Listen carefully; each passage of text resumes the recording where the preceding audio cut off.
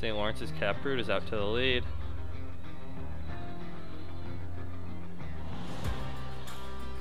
And Isabel Caprud takes the win in time 16.58 seconds.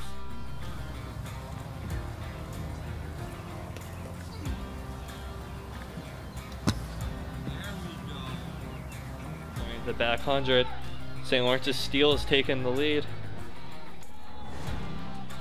Steele's exploded down this backstretch and he'll take the win in the men's 400 meter dash.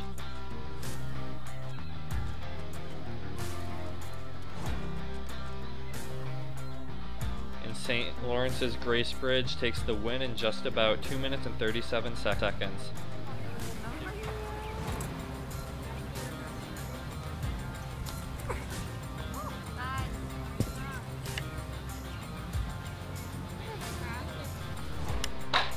and the women are off.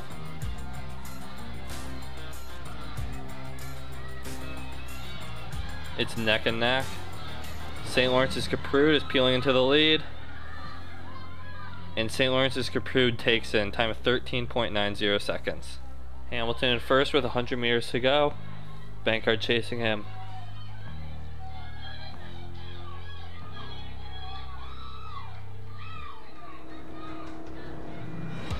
Hamilton will win the 5K in 15-13.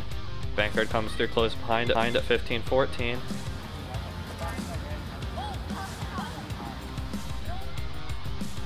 Smith is in the lead with 100 meters to go. Smith is pulling away down the back stretch.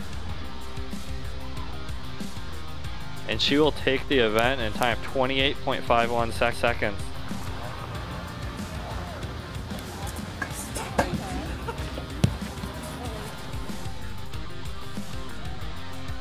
and Watson will take the win in the women's 10K.